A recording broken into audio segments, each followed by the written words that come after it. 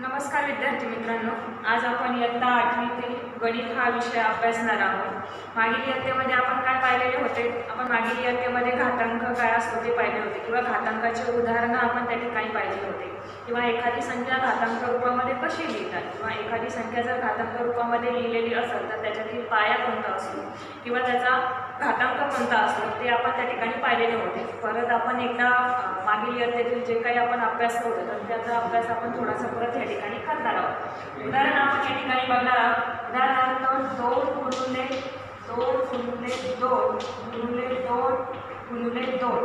असं तर उदाहरण जर असेल म्हणजे या ठिकाणी जर तुम्ही जर पाहिलं तर दोनाचा आपण किती वेळा गुणाकार या ठिकाणी केलेला आहे तर एक दोन तीन चार आणि पाच. आपण या ठिकाणी दोनाचा पाच वेळा गुणाकार केलेला आहे. म्हणजे आपण हे उदाहरण कशा स्वरूपामध्ये लिहू शकतो.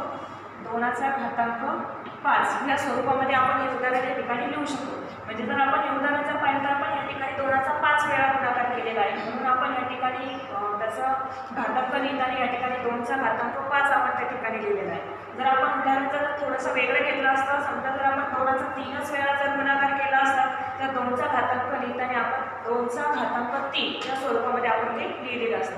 आता जर आपण या ठिकाणी जर पाहिलं दोनचा घातांक पाच याच्यामध्ये आपल्याला पाया दिसतोय.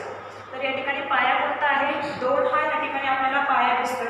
आणि पाच हा त्याचा काय दिसतोय? आपल्याला घात दिसतोय. म्हणजे या ठिकाणी काय झालं? दोन हा काय झाला? पाया त्या ठिकाणी झाला. आणि पाच हा काय झाला? त्याचा घात झाला. तर अशाच प्रकारे आपण घातांकावर व हा जो विषय आहे हा जो घटक आहे तर तो आपण या ठिकाणी अभ्यासणार आहोत. त्याच्यामध्ये आपण घातांकाचे जे वेगवेगळे नियम असतात घातांकाचे आठ वेगवेगळे नियम. तर त्या घातांकाचे आठ नियम आपण या ठिकाणी बघणार आहोत. त्याचप्रमाणे घातांकाच्या नियमांवरनं काही जे उदाहरणं आहेत तर आपण ते त्या ठिकाणी बघणार आहोत. म्हणजे आपला उपघटक या ठिकाणी कोणता आहे? तर घातांकांचे नियम.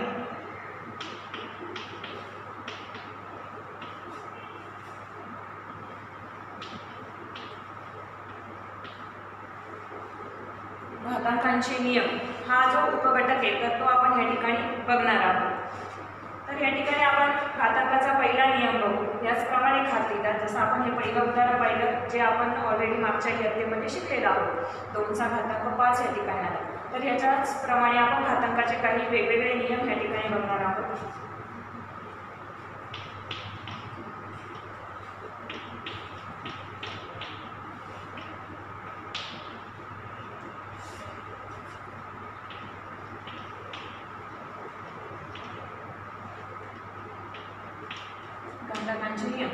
त्याच्यामध्ये मग पहिला नियम या ठिकाणी बघू.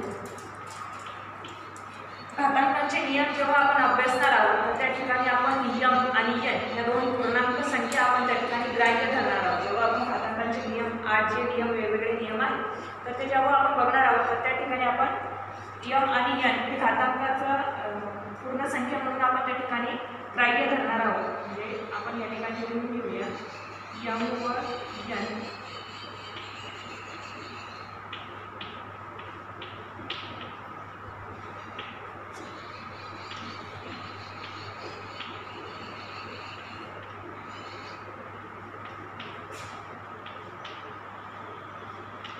पूर्णांक संख्या आहे. त्याच्यावरून आपण घातांकाचा या ठिकाणी पहिला नियम बघू.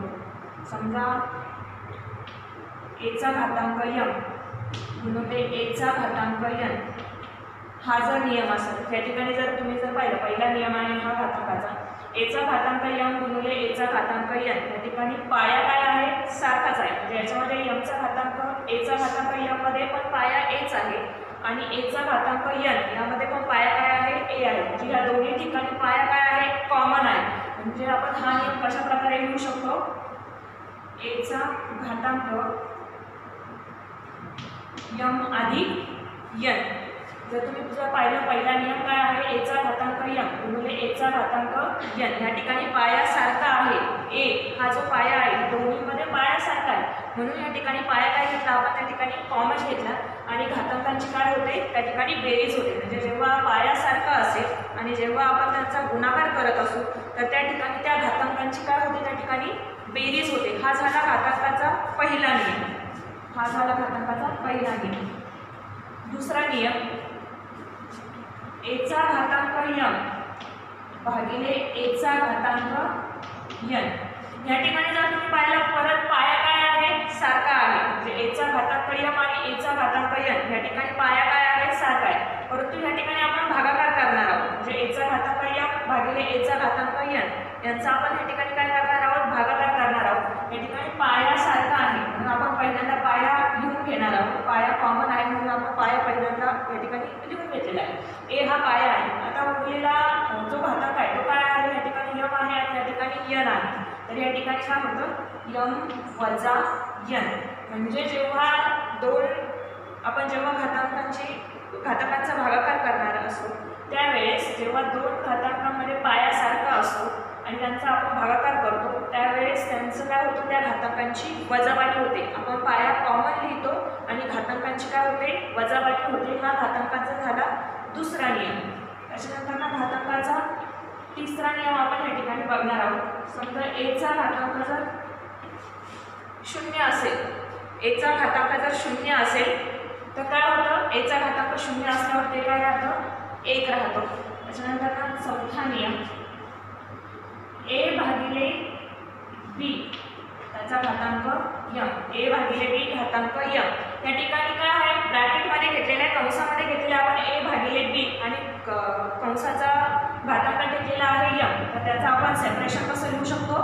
एचा घातांक यम भागिले बीचा घातांक यम. म्हणजे हा घातांक कॉमन आहे. ए साठी पण आणि बी साठी पण. म्हणून आपण लिहिला एचा घातांक यम भागिले बीचा घातांक यम. त्याच्यानंतर ना पाचवा नियम आहे. ए भागिले बी चा घातांक वजा यम. ए भागिले बी त्याचा घातांक वजा यम. असा जर नियम जर असेल तर त्या ठिकाणी आपण काय लिहू शकतो आपल्याला वजा यम नको आहे आपल्याला फक्त अधिक यम पाहिजे त्यासाठी आपण काय करू शकतो इनवर्स येऊ शकतो. ए भागिले बीचा इनवर्स म्हणजे ए भागिले बी आपण काय लिहू शकतो? उलटा लिहू शकतो. म्हणजे आधी बी लिहून घ्यायचा भागिले ए लिहायचा. म्हणजे या ठिकाणी बीचा घातांक यम आणि एचा घातांक यम यम तेच आपण कसं लिहू शकतो? बी भागिले ए आणि ब्रॅकेटचा घातांक यम असं पण आपण त्या ठिकाणी काय करू शकतो? लिहू शकतो.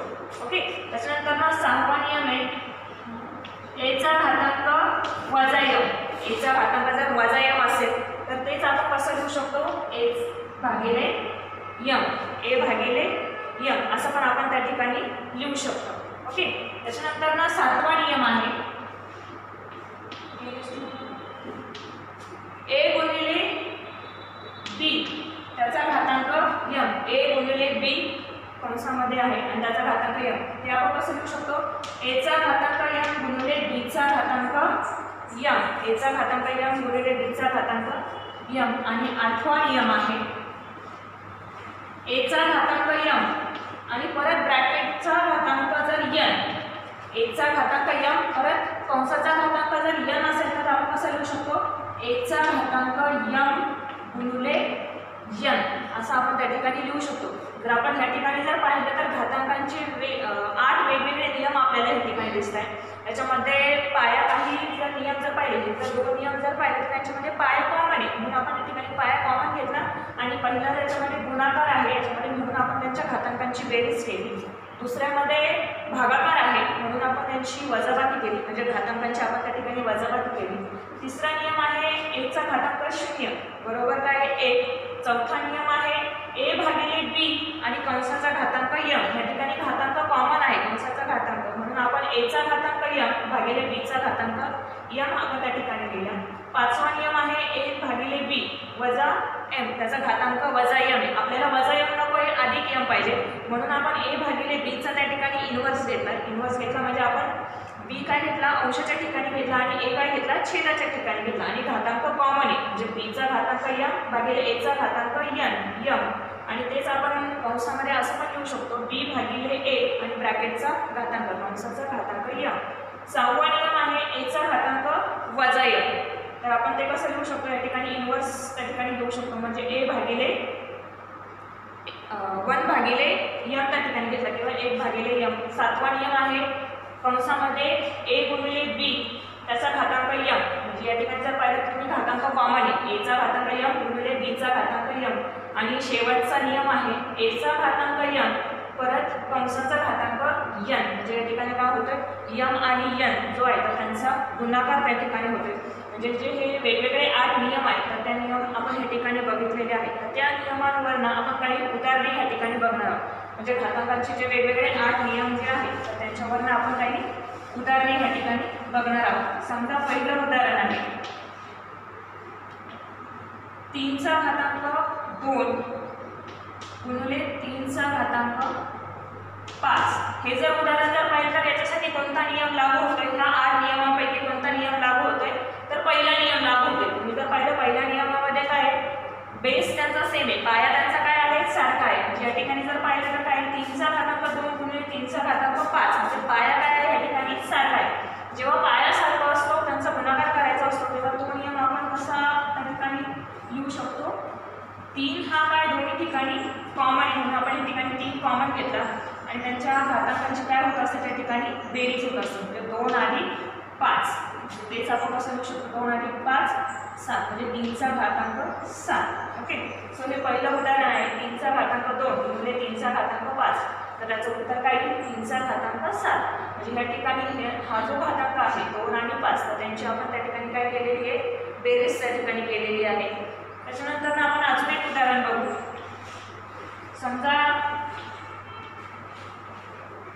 चार भागिले सहा आणि घातांक जर त्यांचा स पाच असेल. समजा चार भागिले सहा त्याचा घातांक पाच आहे. या ठिकाणी कंसाचा घातांक पाच आहे. म्हणजे घातांक चारसाठी पण आहे आणि सहासाठी पण आहे. म्हणजे आपण हे उदाहरण कसं लिहू शकतो?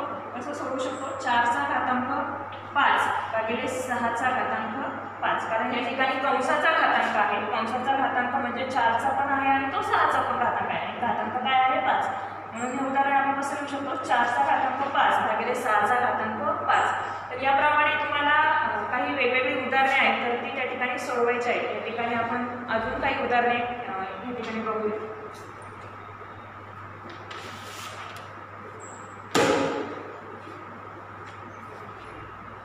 अं, हे काही घातांकांचे नियम आहेत तुम्हाला हे नियम कसे असतील तर ते तुम्हाला लिहायचे. तीन नियम या ठिकाणी दिलेले आहेत.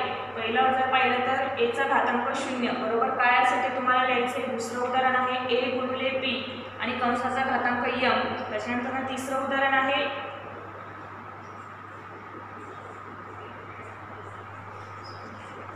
त्याच्यानंतर ना स्वाध्याय.